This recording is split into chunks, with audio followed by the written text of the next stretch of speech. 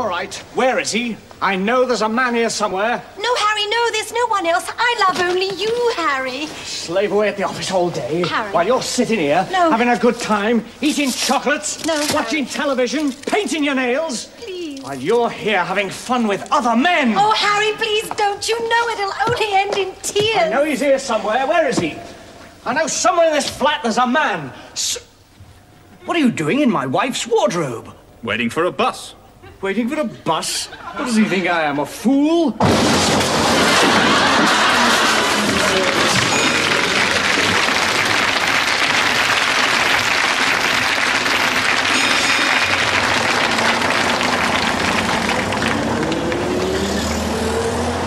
We have just received 5,000 letters about that last sketch saying it was crude and anti feminist. So here it is again.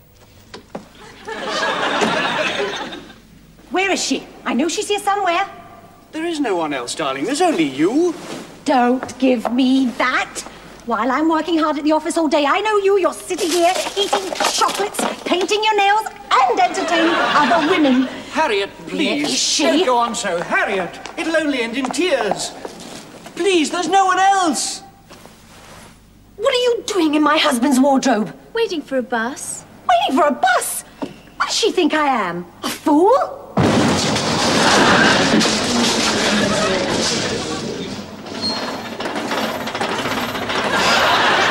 Now, we've just received thousands of letters in all sorts of pastel shades complaining about those last two sketches and saying that they were crude and biased, and let's face it, they were. So we're going to do the whole thing again.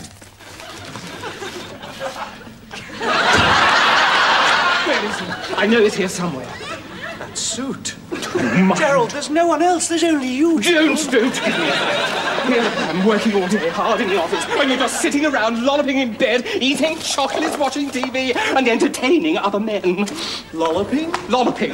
Gerald, that suit's got to go. You chose it. No, no, go in. Gerald, please. What are you doing in the wardrobe? Waiting for a bus. Waiting for a bus. What do you think I am, a fool?